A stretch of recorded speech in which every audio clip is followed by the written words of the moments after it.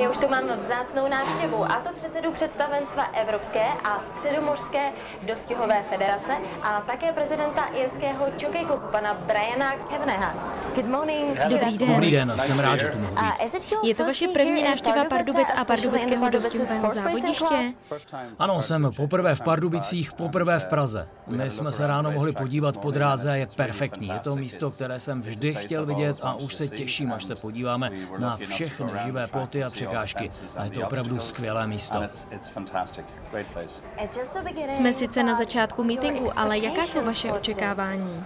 Jsme tady s Evropskou federací dostihového sportu a těšíme se, že uvidíme poslední kvalifikaci na Velkou Pardubickou a také kvalitní koně i dostih na této nádherné dráze.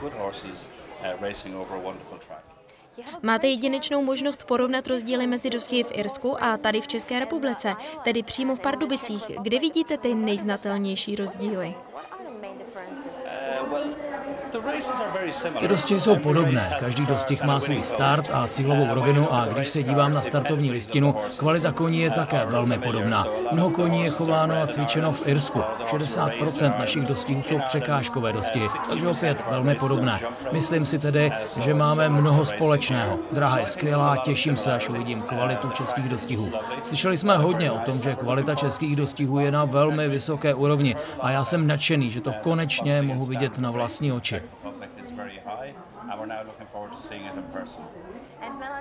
A má poslední otázka, protože se vám v Pardubicích tolik líbí. Přijedete zpět i na Velkou Pardubickou? To doufám. Martin se mě ptal, jestli mohu dovést i nějaké irské koně do Pardubic a já se o to pokusím. My se budeme těšit jak na vás, tak i na irské koně. Děkuji vám za rozhovor. Děkuji.